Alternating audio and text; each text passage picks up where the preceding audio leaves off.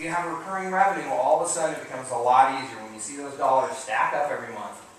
And it's the best feeling in the world. You know, you start a business and you're way down here, and the next thing you know, a year later, you're looking back at it and you have recurring revenue piled up on top of each other and it's just coming in automatically every month. It is a very, very nice place to be. Okay? So make sure that everything that you're doing is recurring revenue. All right. Next is to target channels in the vertical.